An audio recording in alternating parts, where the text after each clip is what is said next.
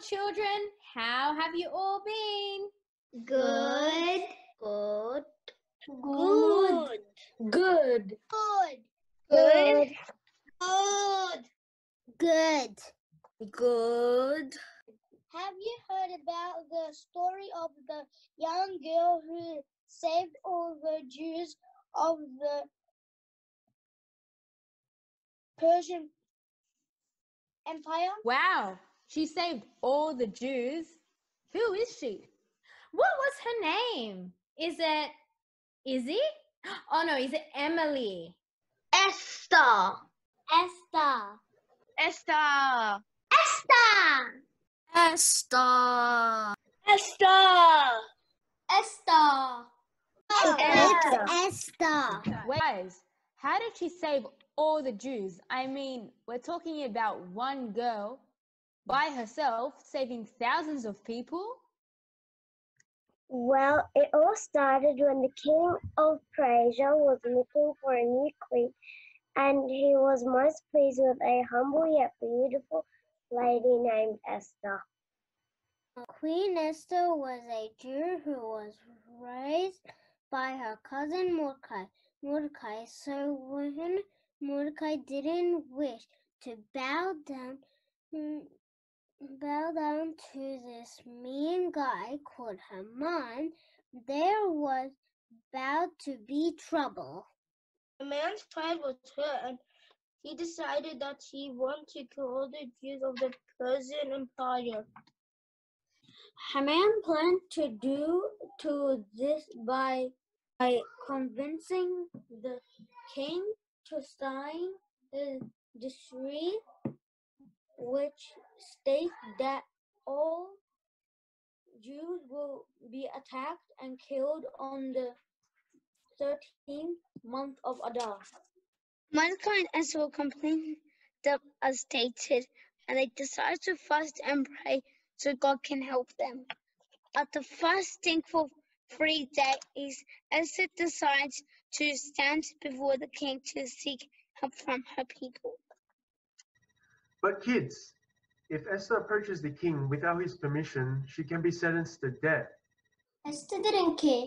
She chose to be courageous so she can save her people. So she stood before the king and he gave her permission to speak. Esther organized a banquet for Haman and the king to attend to. That night, the king had a nightmare and was unable to sleep.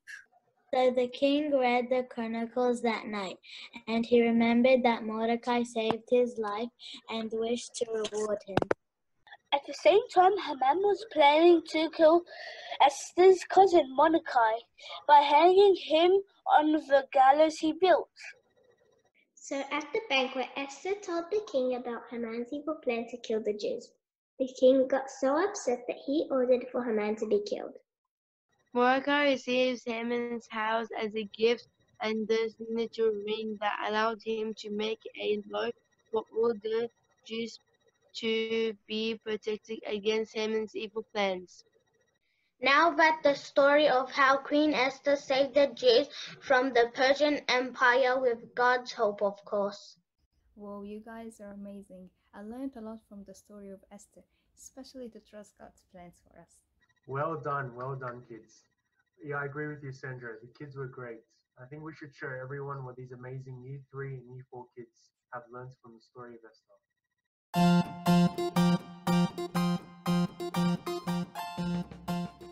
I learned that God's timing is perfect. He gives us the time to fulfill His will by our own actions.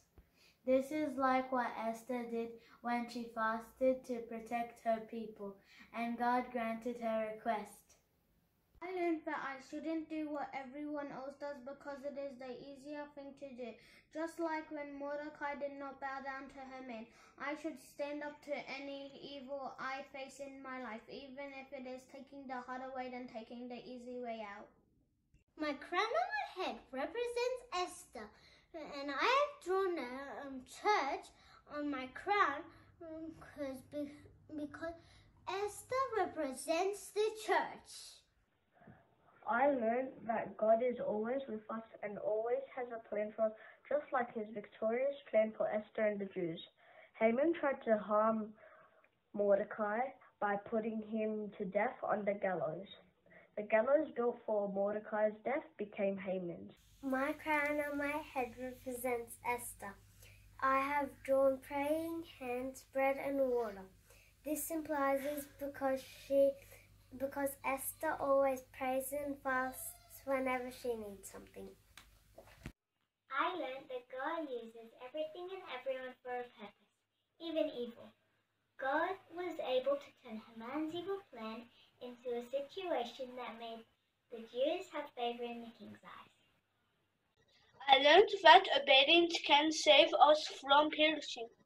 Esther obeyed, and by her obedience, many innocent souls were saved from Haman's hand.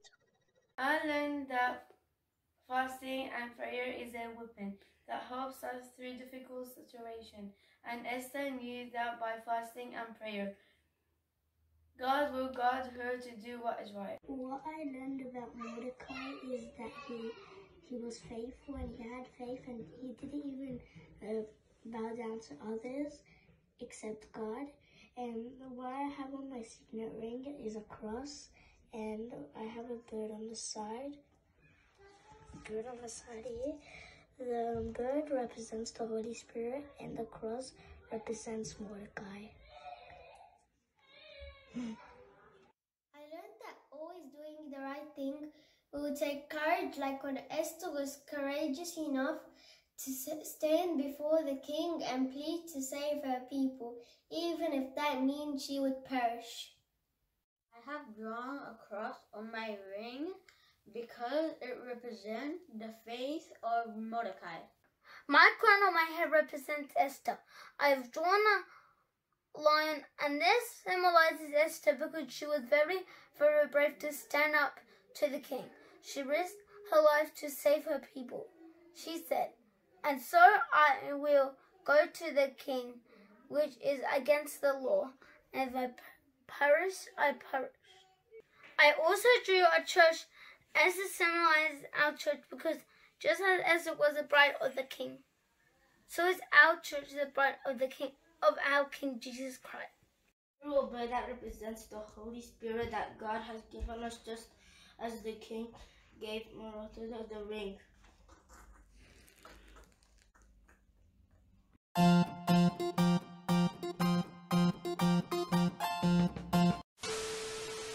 Esther didn't care. She chose to be courageous. Can we start again? So she stood before the king and he gave her permission. Per, permission? So at the banquet, Esther told Haman, Oh no! At the same time, Haman was planning to kill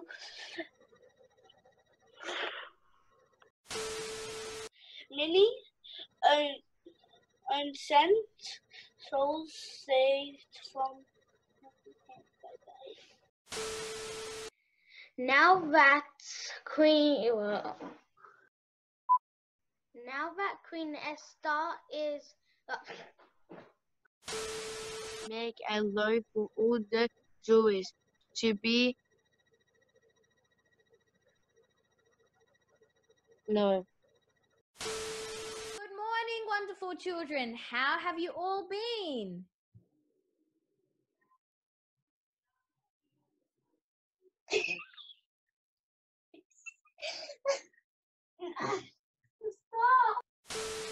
young girl who saved the the Jews' life of the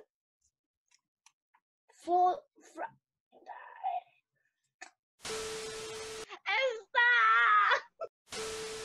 Fr- You gonna say bye? Bye!